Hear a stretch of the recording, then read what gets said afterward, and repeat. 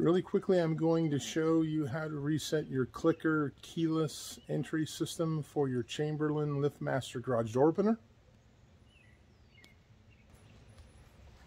Here's the keypad. Hold down the pound and asterisk keys until the blinking stops. Put in your new code. Hit pound.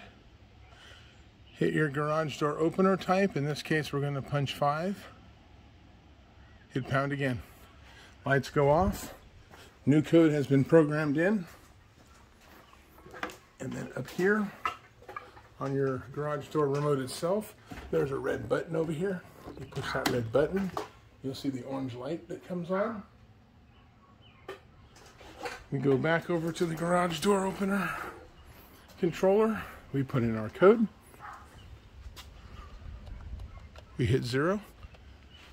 The light flashes. It confirms that it accepted it. Hit zero again. And your door closes. To open the door when you want to get back in, put in your code, press zero.